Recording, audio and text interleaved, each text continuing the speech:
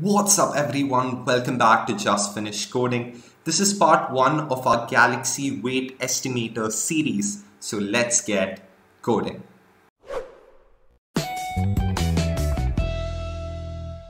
Just finished coding. Now here's a quick preview of what you are going to be able to accomplish at the end of this series. So as you can see here in our final output, the planets are all rotating and you're going to be able to click on any planet, enter in your weight and see your weight pop up on every other planet in the solar system, including the sun. Now how is this program made? Well, let's get into that right now.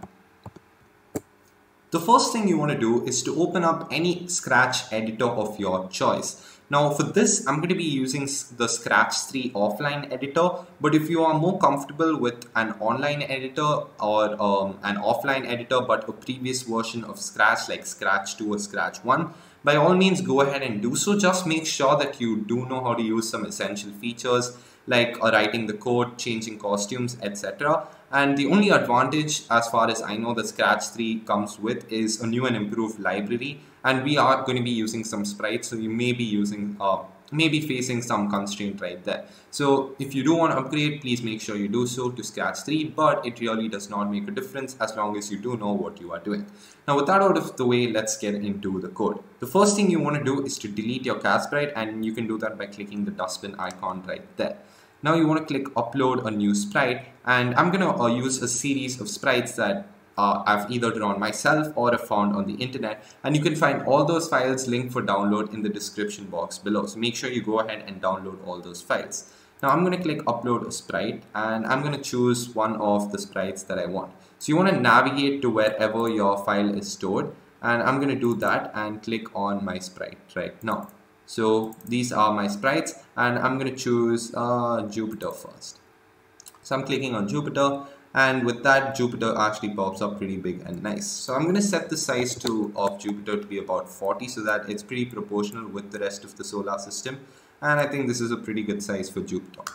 Alright, so we want the program to initialize when the green flag is clicked so make sure you put that as your first line of code. Now you want to initialize a few essential variables and before we do that let's actually delete the my variable variable as we don't really need it. Now the first variable you want to initialize is going to be called gravity of Jupiter and you're going to click this uh, icon right here which says for the sprite only and trust me this is extremely important and do not mess up with this step.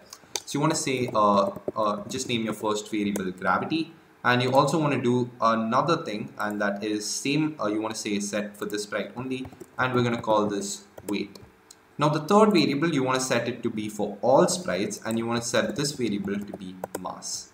Alright there we are. So now let's do the two initializations for gravity and for weight. Uh, now we want to set the weight to be equals to 0 initially as that's how we want the program to start out. But for the gravity we want to set it to be the gravity of Jupiter which is about um, 25 or to be more precise 24.92 meters per second squared. So that's the acceleration due to gravity. Alright, that's it for our initializations. Now we want to have a forever loop to actually show Jupiter rotating. Now Jupiter rotates in an anti-clockwise motion just like most planets and uh, our proportionality scale for this case would be about 4.5 degrees. Now don't worry too much about this. This is just proportional to how uh, fast the planets actually uh, rotate on a normal, uh, normally I mean uh, given our solar system. So you want to say uh, turn anti-clockwise by 4.5 degrees.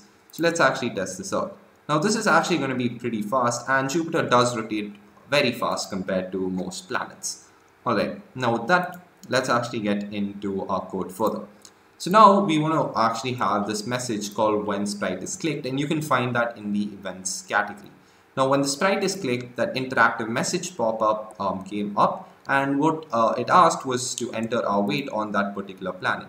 So head over to your sensing category and grab this ask and wait block and you want to say what's your weight on Jupiter and wait. So what's your weight on Jupiter? I think I just typed white okay so what's your weight on Jupiter and wait there we are now we want to set the weight um, to be the answer okay so set weight to be the answer And now what we want to do is to actually find out the person's mass, okay?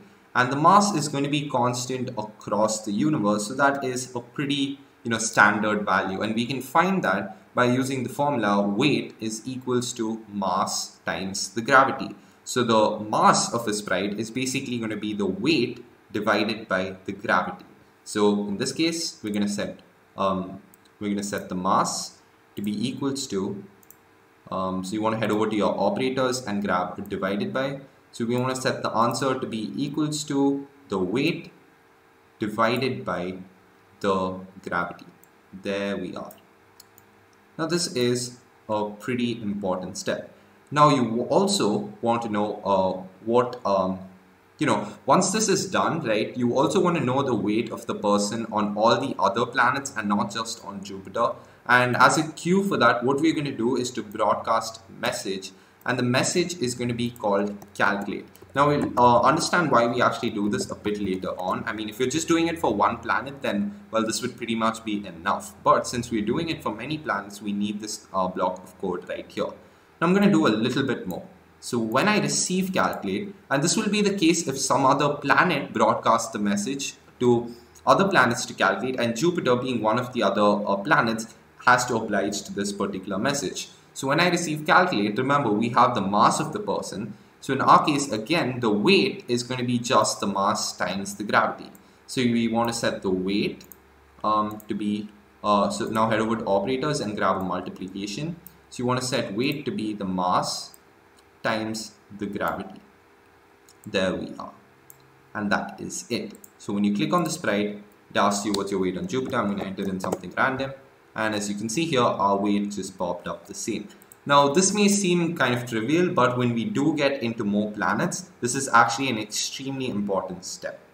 Now I'm not going to go too much into this video and that is going to be it for this video. Now if you have enjoyed this video so far, please make sure you subscribe to the channel and turn on the notification bell and make sure you check out part 2 linked right here. I'll see you in the next video.